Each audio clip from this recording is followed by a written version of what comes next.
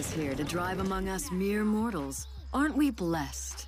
He underestimates us. So let's remind him that technique is more important than a pedigree, no matter how impressive his is.